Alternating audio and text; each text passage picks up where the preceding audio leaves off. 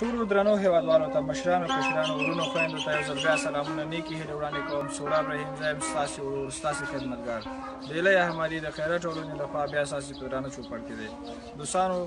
لکه څرنګه چې ما په نورو تېره خپرونه کې هم یادونه وکړه چې د مرتضا او مرستو لړۍ بیا پیل شوله څلور غریبې کورنۍ دي چې هرې کورنۍ ته پنځه زره افغانۍ مرتضا ورور راستولي دي ټول مقدار شل زره افغانۍ دی د لندن څخه یې رسولي. البته هره میاشت دغه مرسته کوي د دغه څلور غریبو کورنیو سره.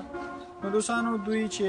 د دغه څلور غریبې کورنۍ چې په خیمو کې ژوند تیروي او د ژمي سړه هوا یې تیره کړله ورځې شپې د ژمي او همدارنګه اوس مهال ورته په مخ کې د ګرمۍ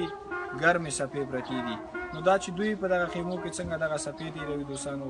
دا نو یو الله پرې پوهیږي راځئ قدرمنو چې دغه دوهمه کورنۍ هم وګورو د دوی ناخوالۍ بیا له تاسو سره شریکېږو له ما سره پاتې شئ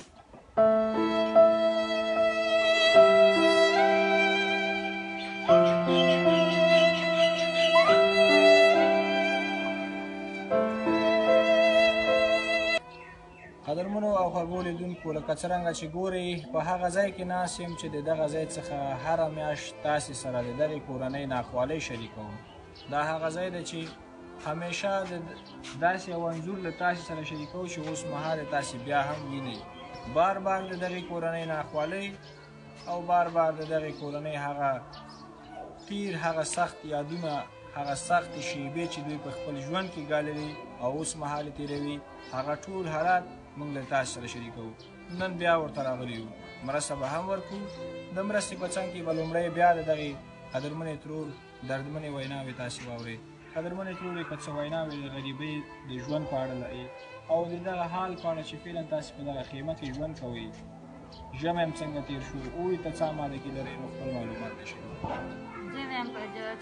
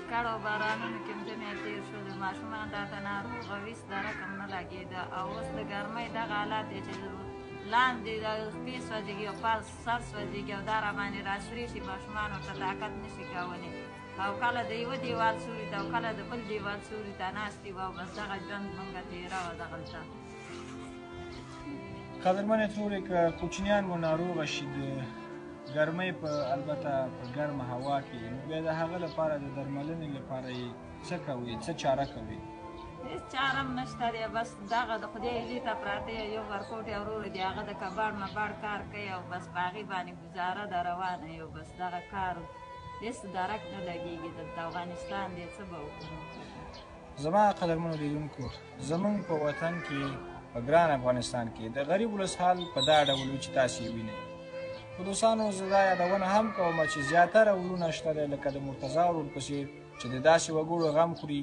او د داسې وګړو سره همدردي لري او مرستې ورسره کوي نو دوستانو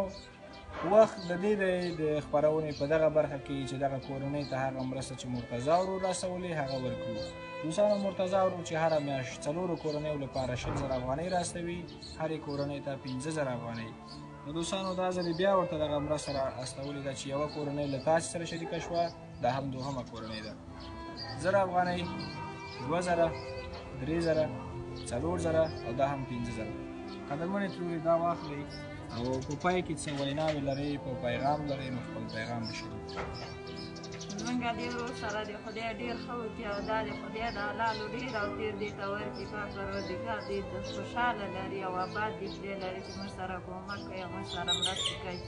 او خدای دې هغه دنیا کې په کار کې چې آخ به پکې لګېږي هغه دنیا د آخرت په ښه دې شي داس ښه مننه کوو قدرمنو لیدونکو راځئ تاسې هم د مرتضا ورور په څېر شئ د داسې وګړو سره مرستې وکړئ د اوړي لپاره یو څه څه ضرورتونه دغه کورنۍ لري نو هغه ورته پوره کړئ همدارنګه دوستانو د اوړي په سخته ګرمۍ کې په خیمه کې ژوند کول مناسب نه دي البته نه تیریږي دا چې دوی څنګه په دغه حال کې تیروي نو یو الله پرې پوهیږي راځئ دوستانو د غریب لاسنیوی وکړئ زموږ د ټولنې سره یو ځای شئ د ایله احمدي خیره ټولنه ستاسې په درانه چوپړ کې ده د نړۍ د هر ګوټ څخه کولی شئ له موږ سره په اړیکو کې شئ زموږ د اړیکو شمېره د واټساپ د وایبر او د ایمو شمېره ده دوستانو تر بلې خپرونه چې څو راغله همځای بیا ستاسې په درانه چوپړ کې حاضرېږي تاسې په لویه وکړو کې بیا سپارم هر چېرې چې یاستئ سوکاله او کامیابه اوسئ د الله په امان